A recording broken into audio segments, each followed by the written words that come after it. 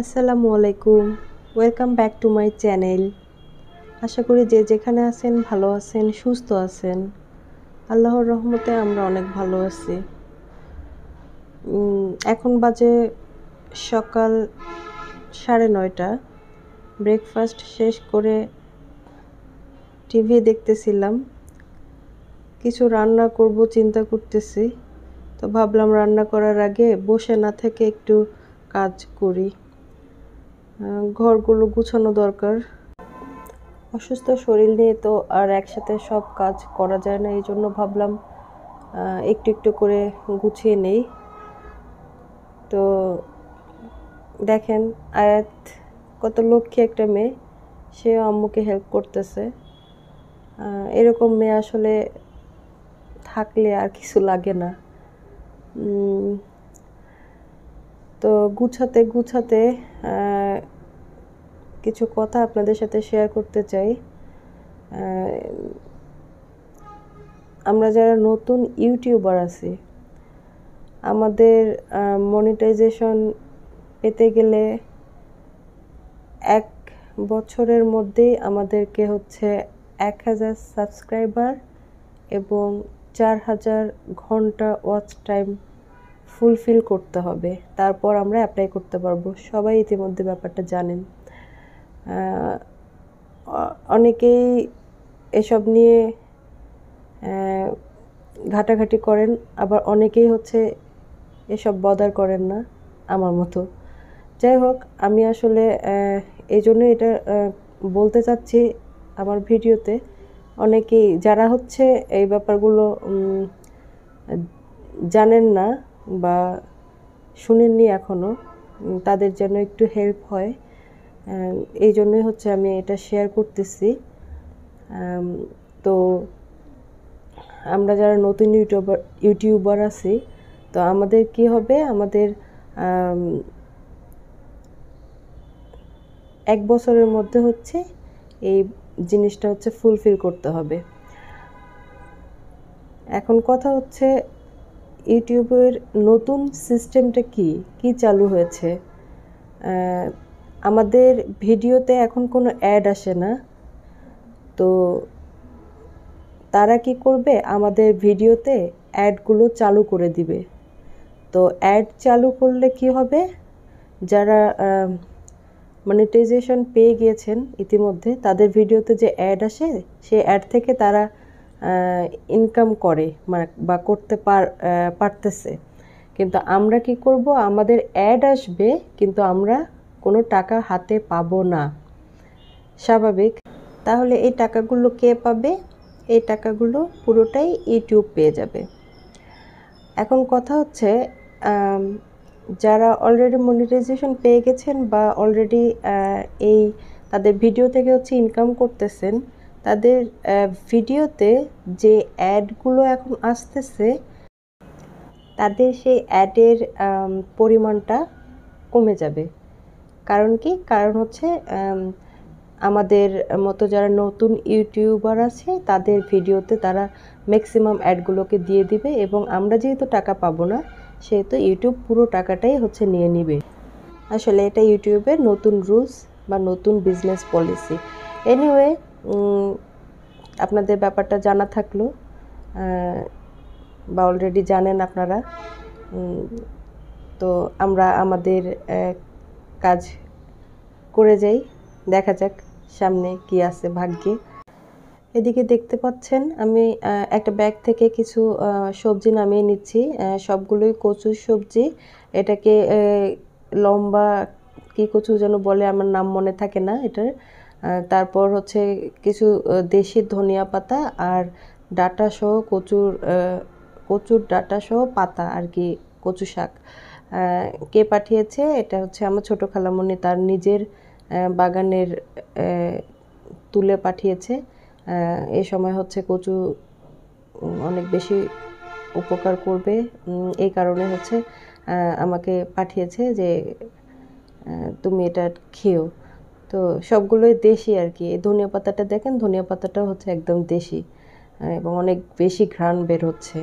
তো আমি আসলে অলরেডি কি রান্না করব চিন্তা করে আলু বয়েল করতে বসিয়ে দিয়েছি। কারণ আমি উত্তরবঙ্গের বলেন আর রংপুরের বলেন বিখ্যাত যেটাকে বলে আলুর ডাল অনেকেই ইতিমধ্যে এই ব্যাপারটা জেনে গেছেন। আগে হয়তো বা খেতেন না, এখন সবাই খান। তো আমি ওইটা আজকে রান্না করব মাছ দিয়ে। তো এই জন্য আমি আলু বয়েল করতে বসিয়ে দিয়েছি। আর চিন্তা করতেছি যেহেতু খালামুনি ফ্রেশ সবজি পাঠালো, তো আমি কচু পাতাটাকে আলাদা করে নিয়ে আমি কচুর পাতাটাকে ভর্তা করব। তো ওই দিকে হচ্ছে ডাটা থেকে কচুর পাতাটাকে ছাড়িয়ে নিয়ে ধুয়ে এরকম ছোট ছোট ছোট ছোট পিস করে পাতিলে নিয়ে নিয়েছি। এখন আমি এটাকে ভর্তার জন্য বসিয়ে দিব চুলায়। তো সরি আমি আসলে ওই ভিডিও করতে করতে কখন আমার হাত মোবাইলটা উল্টো হয়ে গেছে, আমি বুঝিনি এই জন্য আপনাদের প্রবলেম হলো ভিডিওটা দেখতে। যাই হোক এই জন্য আমি অত্যন্ত দুঃখিত। আসলে এক হাতে রান্না করা এবং এক হাতে মোবাইল ধরে ভিডিও করা, এটা অনেক বেশি কষ্টের।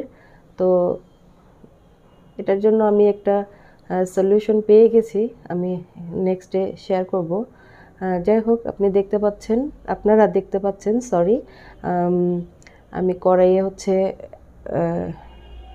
আরেকটা কড়াইয়ে পেঁয়াজ, আদা, রসুন বাটা, মরিচ এবং রসুন। আমি রসুনটা একটু বেশি পরিমাণে দিচ্ছি কারণ কচু শাকে যেন মুখের মধ্যে না চুলকায়, এ কারণে হচ্ছে রসুনের পরিমাণটা একটু বেশি দিতে হয় যে কোনো কচুর তরকারিতে। তো আমি এই জন্য রসুনের পরিমাণটা একটু বেশি দিয়ে এর আগে যেটা কচু শাকটা যে, যেভাবে আমি সিদ্ধ করলাম ওই সিদ্ধ করা কচু শাকটা এই এটার মধ্যে হচ্ছে দিয়ে দিলাম। এটাকে বলে বাগার টাইপের আর কি, আমি এটাতে দিয়ে দিলাম। তো এখন হচ্ছে যতক্ষণ না এই কচুর পাতাগুলো একদম ম্যাশ হয়ে যাবে, ততক্ষণ আমি এটাকে জাল করব আর নাড়তে থাকব। তো দেখা যাক, শেষে কি হয়।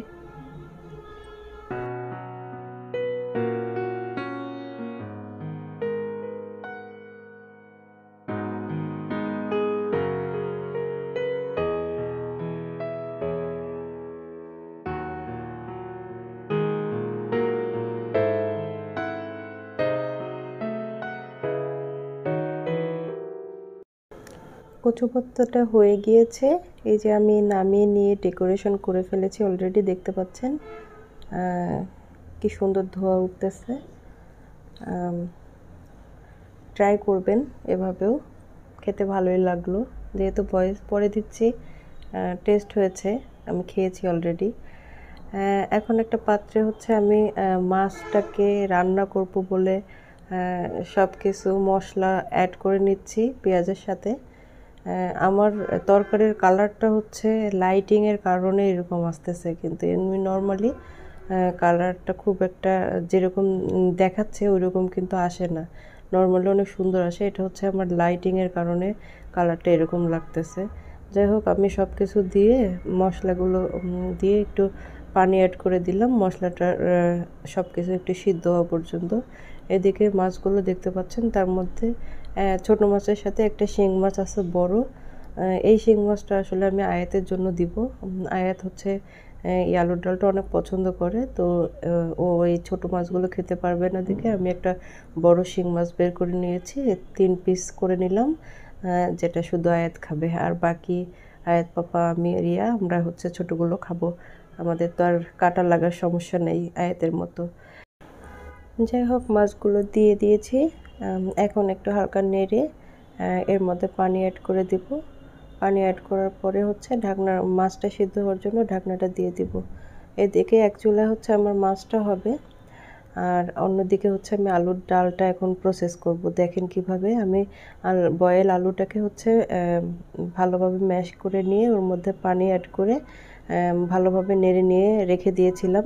কারণ আলুটা গরম গরম না যদি আমি ম্যাশ করি তাহলে পরে শক্ত হয়ে যেত। এই জন্য আমি এটা আগেই করে রেখেছি। এখন আমি একে একে সব মশলা অ্যাড করতেছি। আদা, রসুন বাটা জিরে গুঁড়ো, হলুদ, মরিচ গুঁড়ো লবণ সব অ্যাড করে ভালোভাবে মিক্সড করতেছি।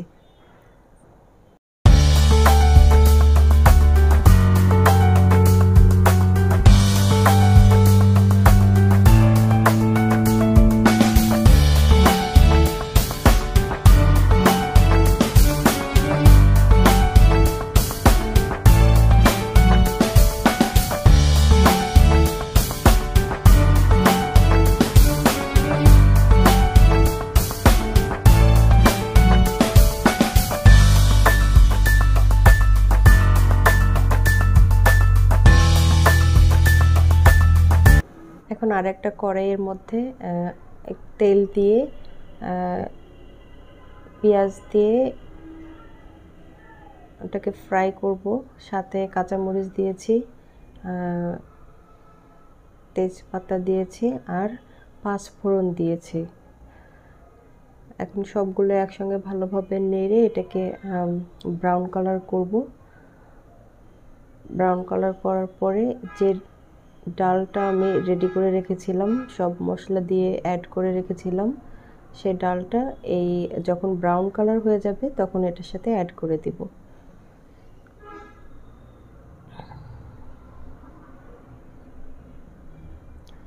একটু নাড়াচাড়া করে আর একটু যদি পরিমাণে পানি লাগে, কারণ আলু যখন চুলার মধ্যে যখন দেয়া হয়, তখন শক্ত হয়ে যায় অটোমেটিকলি এই কারণে হচ্ছে একটু পাতলা করার জন্য পানি দিয়ে দিব। ওইদিকে দেখলেন মাছটা প্রায় হয়ে যাচ্ছে। তো নিচে যেন লেগে না যায়, এই কারণে আমি একটু পরপর নেড়ে দিব। এরপর রান্না করা মাছটা অ্যাড করে দিব এই ডালের সাথে।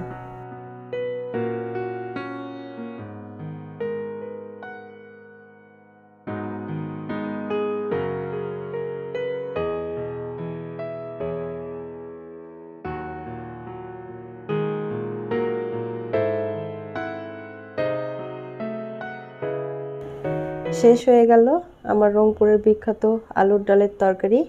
এখন ধনিয়া পাতা অ্যাড করে আমি এটাকে নামিয়ে নিব। তো ওইদিকে কাজ করতে করতে আমি আরও একটা কাজ মাঝখানে মাঝখানে করে ফেলেছি, সেটা হচ্ছে কচুর যে ডাটাগুলো ছিল ওগুলোকে আমি প্রসেস করে ফেলেছি যেন কালকে সকাল সকাল আমি এটা রান্না করে খেয়ে ফেলতে পারি। যাই হোক, যে যেখানে আছেন, ভালো থাকেন, সুস্থ থাকেন, আমার জন্য দোয়া করেন।